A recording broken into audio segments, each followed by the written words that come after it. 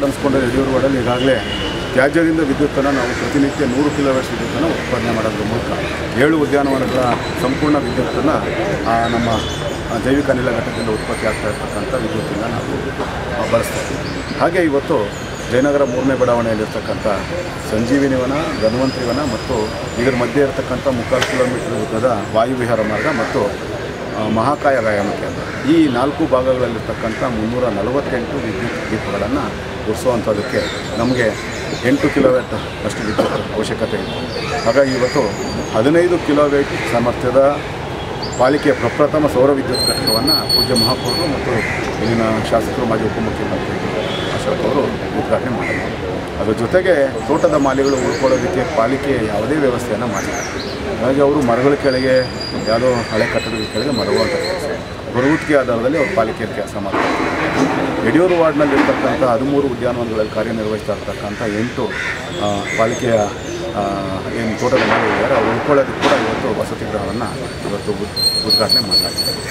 ಇವತ್ತು ಇಲ್ಲಿ ತನಕ ಈ ಒಂದು ಸಂಜೀವಿನಿ ವನ ಧನ್ವಂತರಿ ಮಾರ್ಗ ಮತ್ತು ಮಹಾಕಾಯ ವ್ಯಾಯಾಮ ಕೇಂದ್ರದಲ್ಲಿ ಆ ವಿದ್ಯುತ್ ಬಳಕೆಗೆ ಅಂತ ಹೇಳಿ, ಆ ವಿದ್ಯುತ್ ದೀಪಗಳನ್ನು ಬೆಳೆದಲಿಕ್ಕೆ ನಾವು ಪ್ರತಿ ತಿಂಗಳು ಬೆಸ್ಕಾಂ ಸಂಸ್ಥೆಗೆ ನಲವತ್ತ್ಮೂರು ಸಾವಿರ ರೂಪಾಯಿಗಳಷ್ಟು ಹಣವನ್ನು ಪಾವತಿ ಮಾಡಿದ್ದೇವೆ ಕಳೆದ ಮೂರು ದಿನಗಳಿಂದ ಆ ವಿದ್ಯುತ್ ಸಂಪರ್ಕವನ್ನು ಬೆಸ್ಕಾಂ ಸಂಸ್ಥೆಯ ವಿದ್ಯುತ್ ಸಂಪರ್ಕವನ್ನು ನಾವು ಈಗಾಗಲೇ ತೆಗೆಸಾಕಿರೋದ್ರಿಂದ ಪ್ರತಿ ತಿಂಗಳು ನಮಗೆ ನಲವತ್ತ್ಮೂರು ಸಾವಿರ ರೂಪಾಯಿ ವಿದ್ಯುತ್ ಶುಲ್ಕ ಉಳಿತಾಯ ಬೀದಿ ಅಂತ ಹದಿನೈದು ಲಕ್ಷ ರೂಪಾಯಿ ವೆಚ್ಚದಲ್ಲಿ ಈ ಒಂದು ಸೌರ ವಿದ್ಯುತ್ ಘಟಕವನ್ನು ನಾವು ಪ್ರಾರಂಭ ಮಾಡಿರೋದು.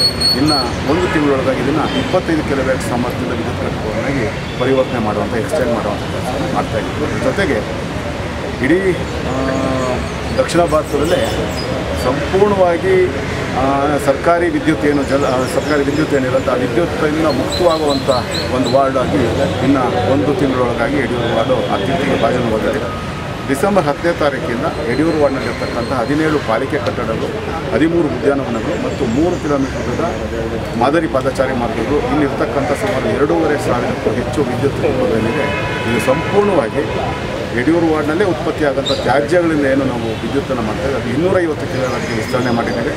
ಇನ್ನು ಡಿಸೆಂಬರ್ ಹತ್ತನೇ ತಾರೀಕು ಅದು ಲೋಕಾರ್ಪಣೆ ಆಗಿದೆ. ಅಂದಿನಿಂದ ಸಂಪೂರ್ಣವಾಗಿ ಯಡಿಯೂರು ವಾರ್ಡ್ನಲ್ಲಿರ್ತಕ್ಕಂಥ ಎಲ್ಲ ಪಾಲಿಕೆಗೆ ಸಂಬಂಧಪಟ್ಟ ಎಲ್ಲ ಆಸ್ತಿಗಳು ವಿದ್ಯು ಬಿಸ್ಕಾಂ ವಿದ್ಯುತ್ ಮುಕ್ತ ವಾರ್ಡ್ ಮುಕ್ತವಾಡಾಗಿ ಪರಿವರ್ತನೆ ಆಗ್ತದೆ. ಆ ಒಂದು ಹಿರಿಮೆಗೆ ಅವತ್ತು ಸಾಧ್ಯವಾಗುತ್ತೆ. ಅಂದಿನಿಂದ ಡಿಸೆಂಬರ್ ಹತ್ತನೇ ತಾರೀಕಿಂದ ಪ್ರತಿ ತಿಂಗಳು ಮೂರು ಲಕ್ಷದ ಹತ್ತು ಸಾವಿರ ರೂಪಾಯಿಯಷ್ಟು ಹಣ ಬೆಸ್ಕಾಂ ಸಂಸ್ಥೆಗೆ ಪಾವತಿ ವಾರ್ಡಿಂದ ಮಾಡಬೇಕಾಗಿತ್ತು ಅದು ಸಂಪೂರ್ಣ ಉಳಿತಾಯ ಮಾಡೋದು, ಮಾಡೋದ್ರ ಮೂಲಕ ಪಾಲಿಕೆಗೆ ದೊಡ್ಡ ಮಟ್ಟದ ಆದಾಯವನ್ನು ನಾವು ಗಳಿಸ್ಕೊಡೋದ್ರ ಜೊತೆಗೆ ಹಣವನ್ನು ಕೂಡ ಉಳಿತಾಯ ಮಾಡೋಂಥ ಕೆಲಸವನ್ನು ನಾವು ಯಡಿಯೂರು ವಾರ್ಡಿಂದ ಮಾಡ್ತಾ ಇದ್ದೀವಿ ಎಚ್ ಅನಿಲ್ ಕುಮಾರ್ ಸರ್.